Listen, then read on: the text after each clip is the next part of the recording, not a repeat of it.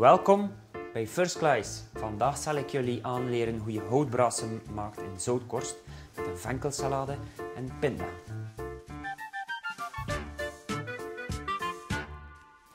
De benodigdheden. Wat hebben we nodig?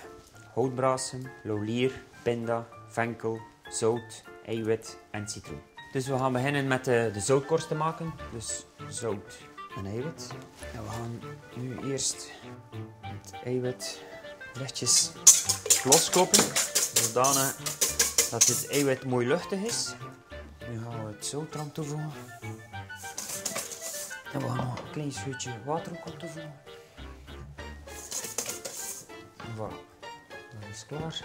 Nu gaan we de vis nemen. De kwaliteit van de vis is echt super top. En we gaan eerst de buikholtes nemen.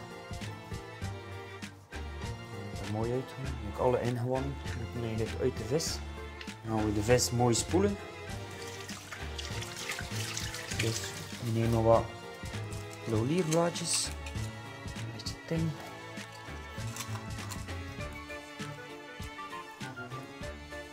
Een klein beetje olijfolie in de buikholte doen. Een mooi bodem bedekken. Visje mag erop. Mooi de vis bedekken. Zodanig mooi de vis bedekken, zodanig dat die heel mooi onder het zoutbeslag zit. De oven die is voorverwarmd op 200 graden. En nu gaan we de vis mooi afbakken, ongeveer een, een dertigtal minuutjes op 200 graden. Terwijl gaan we de venkelsalade maken.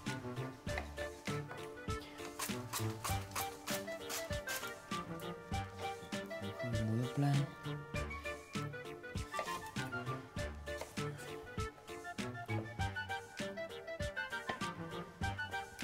venkel die gaan we mooi aanmaken met een beetje peper, een klein beetje zout, olijfolie, een beetje citroensap. En als je kijkt naar de korst, zou juist zeggen dat het gelijk uh, brooddeeg is.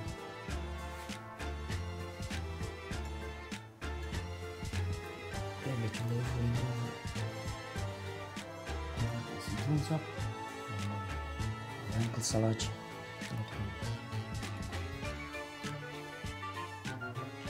Houtbrassen, gehaard in zoutkorst, venkelsalade, lapinda, Zuiders lekker gerechtje.